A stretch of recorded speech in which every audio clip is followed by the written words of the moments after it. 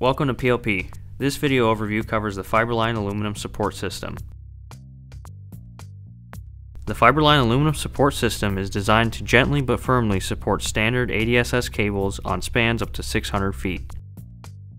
For the beginning of this installation, we will be using a 5 8 inch 11 double arming bolt for mounting the support. Insert the bolt with the nut through the bolt hole of the housing assembly base. Now insert the bolt with the housing through the pole.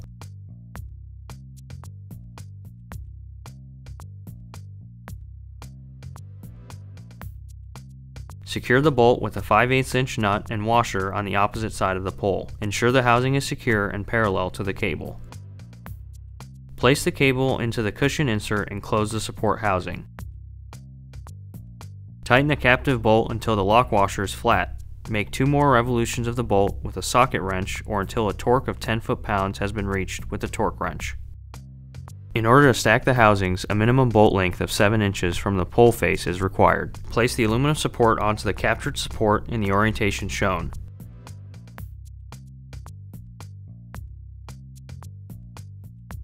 Install the cables following the same procedure mentioned earlier.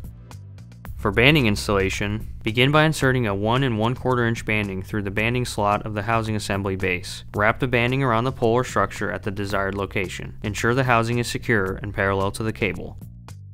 The FIBERLIGN aluminum support system can also be used during stringing operations. Removal of the cushions allows for use of swivels up to 1.2 inches in diameter and 10 degrees of line angle movement. Once the cable has been pulled through the support, place the cushions back into the housing and finish installing the cable within the support.